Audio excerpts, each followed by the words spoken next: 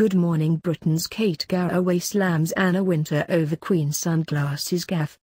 Good Morning Britain presenter Kate Garraway has taken aim at Anna Wintour following the fashion mogul's chat with Queen Elizabeth II. Anna, 68, prompted headlines when she failed to remove her infamous sunglasses following Queen Elizabeth II's first ever appearance at London Fashion Week.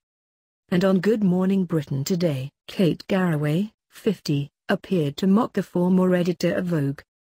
The host donned an oversized pair of sunglasses, which took up half of her face, at numerous points in the ITV show. Posing for the camera, Kate laughed. It does hide the bag's mind.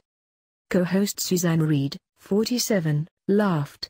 You haven't got bags. However Kate joked, oh I've got shopping bags under here.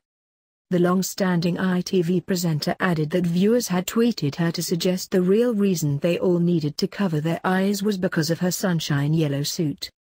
Before the segment ended, Kate took one more swipe at Anna, insisting she should have taken them off.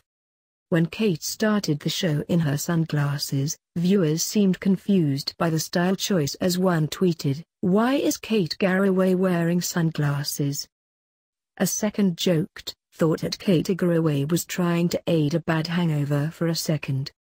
Another added, well Kate wins, she looks great 30.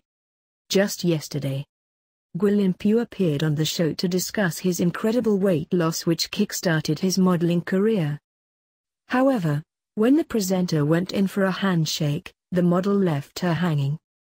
Although nothing was said of the moment on air, Twitter was set alight at the very sight of the snub. The snub,